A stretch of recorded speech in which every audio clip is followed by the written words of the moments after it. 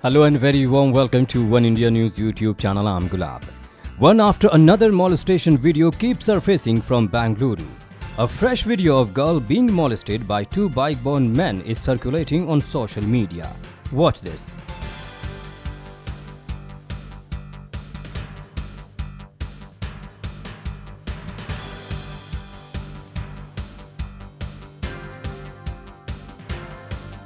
Video footage clearly shows one of the molesters touching bottoms of a woman from her backside and fleeing away.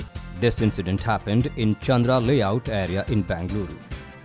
Earlier in January, seven people were detained after CCTV footage of a young woman being groped and molested in a deserted lane of Kammanahalli area in East Bangalore by two bike-borne assailants came to light.